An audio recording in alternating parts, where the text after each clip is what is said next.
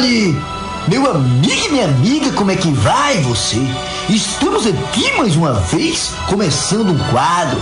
Esse quadro que chegou para tentar te ajudar.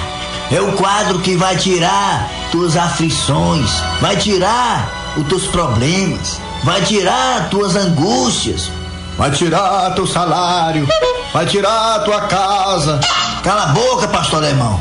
Desse jeito, você vai afastar os fiéis da nossa sede. E sem perder tempo, vamos ao nosso primeiro irmão ou irmã de hoje. Alô, você do telefone, fala que eu te ouvo. Pastor, me ajude, pastor, tô desesperado. Calma, irmã, fique calma. O seu desespero vai acabar agora. Meu amigo e minha amiga. Mas diga, irmão, que te afliges. Não desesperai-vos. Pastor, o meu filho é louco por esporte. Ele pratica todo tipo de esporte, pastor. Ele solta pipa. Até isso. Ele passa quanto tempo no banheiro soltando pipa? Cala a boca, pastor alemão. Banheiro soltar pipa? Quer dizer então, minha senhora, meu amigo e minha amiga, que seu filho é um atleta. É isso, pastor. E qual é o seu desespero? O menino pode não ser atleta, o que, é que tem? É saudável, tira as pessoas, as crianças, os adolescentes da ociosidade, ficam sendo cidadãos. Eu sei, pastor. É porque o menino sumiu. O povo pra gostar de sumir nesse quadro. Cala a boca, pastor alemão. Quer dizer que seu filho, que gosta de praticar esportes, sumiu. Foi isso, pastor.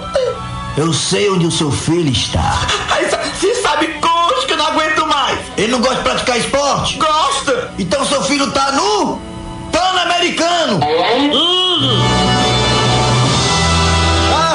Ai, ai, que homem sábio. Vem cá, meu atleta. Deixa eu pegar tua vara e saltar com ela. Deixa, salto com vara. Cadê tua vara? Cadê? Cadê? Pastor Alemão, stop! Gui. Desse jeito, meu amigo e minha amiga, eu vou ser obrigado a fazer o que eu não queria fazer. Ir no banheiro? Não, rapaz, me dá uma suspensão. Vai, me suspende, vai, me suspende, vai. Me pega na cacunda, me suspende. Olha, meu amigo e minha amiga, vamos a mais um ouvinte. Alô, seu telefone, fala que eu te ouvo. Pastor, eu preciso muito de sua orientação. Então pronto, o lugar certo é eis aqui. É aqui que é o canto certo para a gente tomar decisões. Isso mesmo. Enquanto a gente não toma outra coisa. Cala a boca, pastor alemão. Mas diga, irmão, que te afliges. Pastor, é que eu sou casado há 30 anos, sabe? Olha só que coisa linda, 30 anos de casado. É um exemplo, né, pastor alemão? É verdade. Irmão, me diga, vocês dois se falam ainda. Cala a boca, pastor alemão. 30 anos de casado é um exemplo, rapaz. Bem feito pra ele. Sim, irmão, mas fala que eu te ouvo. Qual é o teu problema com tua esposa? Sabe o que é, pastor? É que ela tá sofrendo de prisão de ventre, sabe? E tá com mais de duas semanas que ela não vai no banheiro. Tá com duas semanas então que ela não evacua. É verdade, pastor. Ah!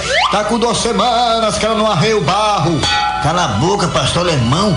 Vamos respeitar a situação precária desta cagona. Se ela não arreia massa, é problema dela. Não vamos mangar. É verdade, pastor. Tem um lado bom dessa história. É bom porque ela não gasta com papel higiênico. Olha aí, meu amigo e minha amiga, eu tô muito bem acompanhado. A esposa desse cidadão sofrendo com problema de prisão de ventre. E este mama na égua vem com essa metáfora. Mas, irmão, sua esposa está com prisão de ventre. É verdade, pastor. Muito tempo que ela não evacua. Tá com mais de duas semanas. Então só tem um jeito. O que, pastor? Vocês têm que se mudar daí. E a gente vai pra onde, pastor? Você não quer resolver de vez o problema de prisão de ventre da sua mulher? Quero, pastor. Então vocês têm que morar lá em Chicago. ai,